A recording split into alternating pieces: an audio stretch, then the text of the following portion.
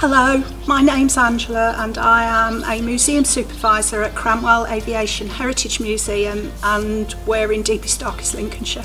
We tell the story of RAF College Cranwell, um, so we tell the social history side of the RAF. I'm going to talk to you about one of our past exhibitions, High Flying Women, and that focused on a group of ladies throughout time that did amazing things and really pushed the idea that women could do jobs that men could do. The one what I'm going to focus on at the moment is a lady that was connected with RAF College Cranwell and her name was Elsie Mackay. She was born in Simla in India in 1893 and she was the daughter of a um, embassy official who later became a shipping magnate. But she was a bit of a, a wild card and her family had to keep a tight control over her. She was also a role model, very much a contemporary role model. And she because of the way she wore her hair because she always wore stylish clothes because she was this dark skinned dark haired beauty. In her youth she decided that she was going to become a film actress. And in 1919 she started her career under the name of Poppy Wyndham. And she made eight films and was in several stage plays. From then on, she decided that she was going to go into interior design. And because her family had got money and her father at that time was a shipping magnate, she, did, she designed all the interiors of his liners. After that, she got the flying bug. She decided that she wanted to learn to fly.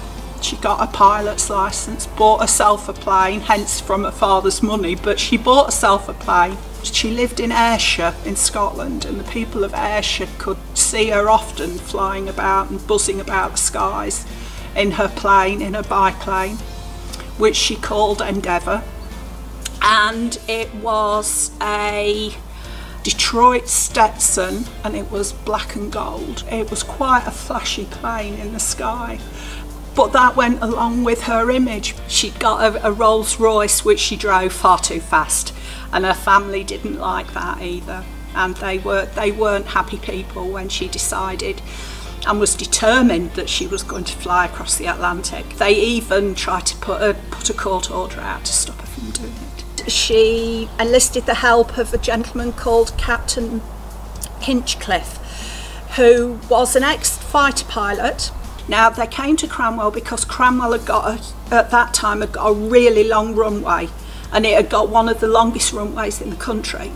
Endeavour was, was carrying weight because it had got petrol and all the rest of it for a long distance flight, so it needed the length of runway to take off. They did test flights at Cranwell for a few days, and then in March, on March the 13th, they decided that they were going to go for it. So they took off from Cranwell, very low key affair. They just got in the plane and took off and flew away. Five hours later, over um, the Mizen Head in Ireland. They were the plane was seen.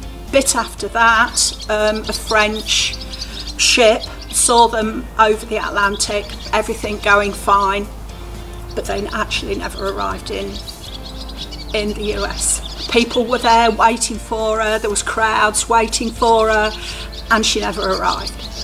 And the, it's assumed that the plane went down in the Atlantic but what's spooky is that nothing was ever found. All that we do know is that so several months later, a small piece of the plane which had an ID number was washed up on the coast of Ireland and they could track that that was part of Elsie's plane but we don't actually know whatever occurred to her. So that's the story of Elsie Mackay.